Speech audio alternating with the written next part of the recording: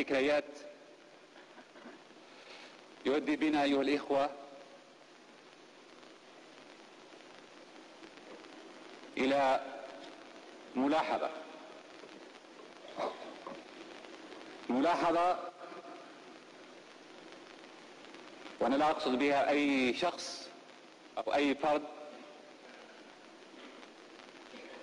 وإنما كملاحظة عامة. بالأمس.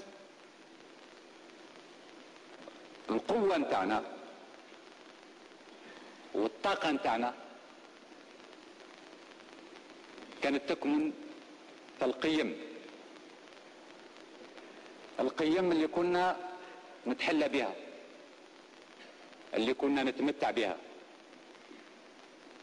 لكن الاستقلال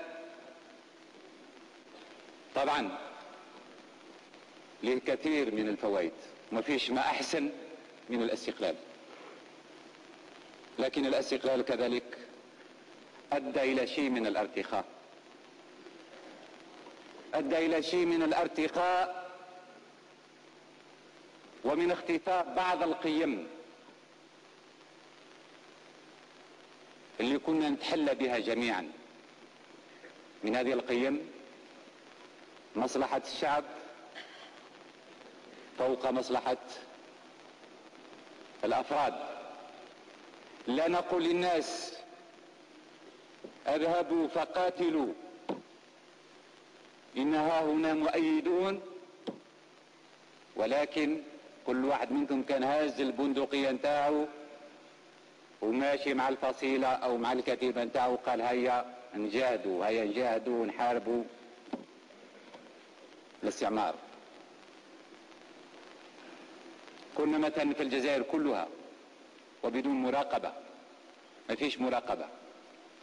ما فيش أقصد المراقبة الإدارية. ما كانش عندنا إدارة كما راهم موجودة اليوم. لكن المناضل البسيط كان يخرج من حدود الولاية الرابعة.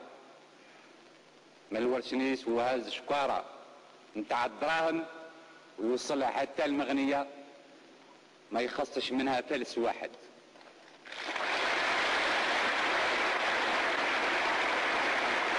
شكارة نتاع الدراهم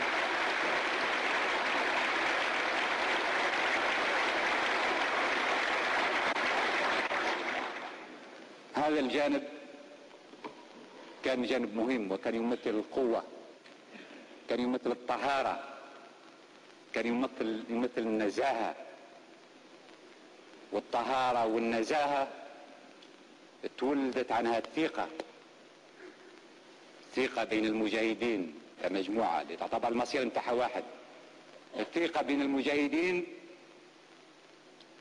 وبين الشعب.